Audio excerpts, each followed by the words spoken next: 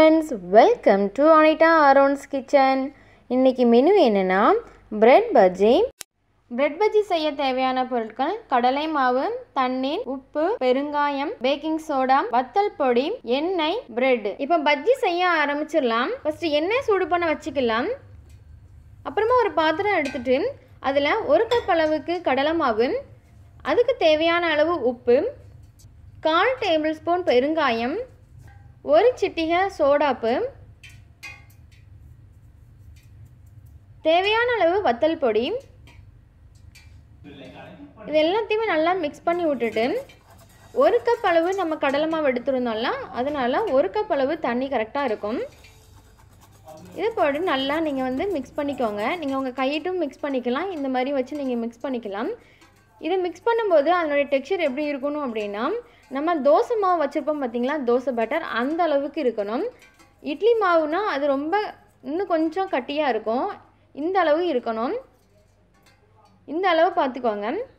இது நம்ம ரெடி பண்ணிகிட்ருக்க அந்த கேப்பில் எண்ணெய் வந்து சூடாயிரும். இப்போ இது மாவு ரெடி ஆகிட்டு இப்போ ப்ரெட்டை வந்து ஒரு ப்ரெட்டை வந்து நம்ம நாலு பீஸாக நம்ம கட் பண்ணிடலாம்.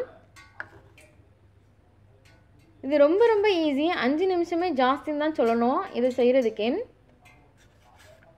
இப்போ ப்ரெட்டு ரெடி ஆகிட்டுது நம்ம இதை நம்ம மாவு ரெடி பண்ணி வச்சுருக்கோம்ல அதை மிக்ஸ் பண்ணி எண்ணெயில் போட்டுடலாம். எண்ணெய் சூடாக இருக்கான்னு எதுக்கும் செக் பண்ணி பார்த்துக்கோங்க. அதே போல் இதை மிக்ஸ் பண்ணி போடும்போது நீங்கள் சென்டரில் வந்து நீங்கள் ப்ரெட்டில் கையை வைக்காமல் ஓரமாக நீங்கள் கை வச்சு போடுங்க. அப்போ தான் சென்டர் பகுதியில் வந்து நம்மளுக்கு வந்து நல்லா புஸ் புஸ்ஸுன்னு கிடைக்கும்.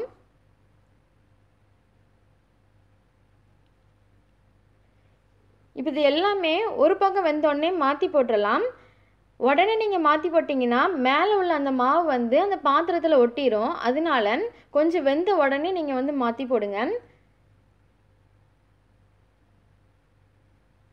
இப்போ ரெண்டு பக்கமும் மாற்றி போட்டாச்சுது ரெண்டாவது பக்கமும் நல்லா வெந்த உடனே நம்ம வந்து எடுத்துடலாம். எனக்கு இப்போ ரெண்டு பக்கமே வெந்துட்டுது. அதனால் எடுத்துட்டேன். நீங்களும் இதை வந்து கண்டிப்பாக ட்ரை பண்ணி பாருங்கள் ரொம்ப ஈஸியாக வேலை முடிஞ்சிடும் அதே போல் டேஸ்ட்டாகவும் இருக்கும். நீங்கள் கண்டிப்பாக ட்ரை பண்ணி பார்த்துட்டு எப்படி இருக்குன்னு சொல்லுங்கள்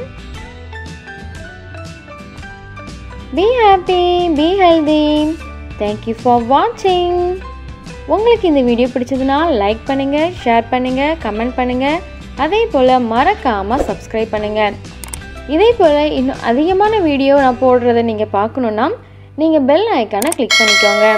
பாய்